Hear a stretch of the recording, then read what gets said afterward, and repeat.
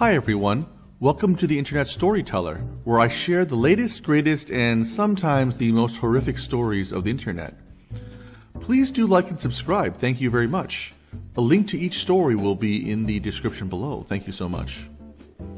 Our very first story is entitled, You're Starving My Child. I'm a teenage nerd going to an IT magnet school where the workload rivals a 9 to 5 job. I go to McDonald's to spend my limited allowance money.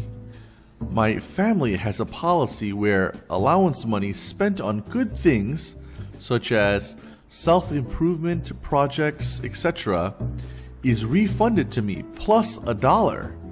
So if I buy a book on how to cook and then learn from it, I get the money I spent on it and a dollar back. I'm sitting here at a table close to the entrance. Enter the entitled parent and entitled child. They enter the store, look at the board, and then look at me. Now, I'm here and I sat down a minute ago. My burger is untouched.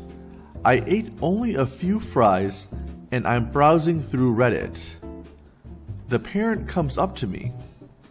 Entitled parent says, I'm sorry to bother you, but my family is running short on money. My little boy is hungry.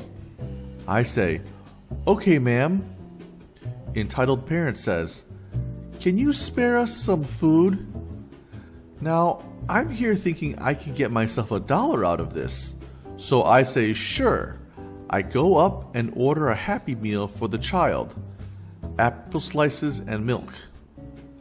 I get the meal and turn around. Entitled Kid has taken bites out of my burger, one of the $8 signature meal ones. And Entitled Parent is downing my fries. I say, What the heck? Entitled Parent says, We were hungry. I say, I bought your son a Happy Meal. You were supposed to get that, not eat my meal. Entitled Kid says, Mommy, I want the Happy Meal. Entitled Parent says, well, we'll take the Happy Meal. I say, No way, you horrible woman. You just ate my savings for the month. Entitled parent says, What the heck did you call me? At this point, the employees notice. One says something to the manager. The manager says, Is there a problem here? I say, Yes, these two just ate my meal. Entitled parent says, he stole my little boy's Happy Meal. I say, I bought this because you said your boy was starving. I didn't mean for you to put your grubby hands on it. Entitled parent says, He verbally abused my son. Here, I'm standing dumbfounded. Entitled kid continues to devour my burger. I take it from his hands and he starts whining. Entitled kid, Mom, you said he wouldn't notice. The manager says, Ma'am, I'm going to have to ask you to leave. Entitled parent says, He just touched my son. The manager says, Ma'am, you need to leave now. The parent and her kid storm out. The manager reimburses me for the Happy Meal and the signature meal. I go home and my parents refund me the money and a dollar despite the fact that the manager already reimbursed me. Yay for double money! The end. Our second story for the day is Entitled Mom is Back from Jail. So, this happened during the week. So, remember Karen who broke my glass door and tried to steal my Xbox?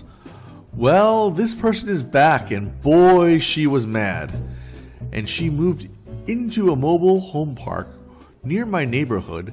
And the first thing she did was go to our house and harass my family. She banged on our door, and when my dad saw her, he immediately said, This lady's gotta be off her nut. She seems to have not learned a lesson.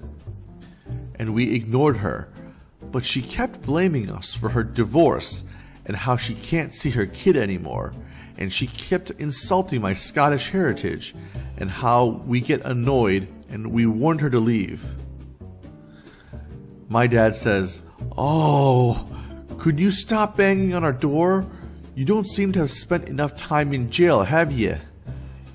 Karen says, It's all your fault. I can't see my kid anymore. My dad says, No one asked you to be a loony bastard. Now leave our property or else. Karen says, I'm going to sue you. My dad says, Go ahead, it's worth a try. You should be embarrassed. Why not ruin your reputation again? The entitled mom says, See you in jail, you bastard. My dad says, See you in H-E-L-L, you numpty. At about 11 p.m., we get a knock on the door. It was the police, and they told us we got a call saying we assaulted a lady and stole from her. My dad says, You know that crazy lady from last time? She made those calls. The policeman says, Oh, yeah, that mother with that crazy kid. Yeah, so sorry for bothering you guys. Have a nice night. We'll deal with her for you. Then this happened. When I was walking home from school, Karen came out of nowhere and punched me. Then she took off running with my backpack. My friends chased her down and we tackled her. I got my bag and we started a stompathon on this woman. Oh my goodness. We walk away and I sure hope she doesn't decide to burn our house down. All we know is how she could hold a grudge after several months in jail.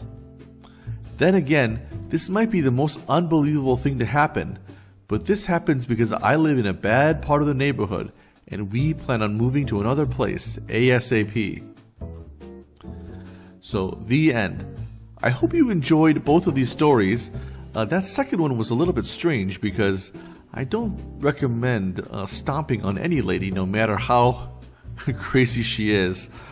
Okay, well, anyway, I hope you enjoyed the stories, and please support the channel by subscribing and liking. Thank you so much. I'll see you guys next time. I'm the Internet Storyteller. Bye.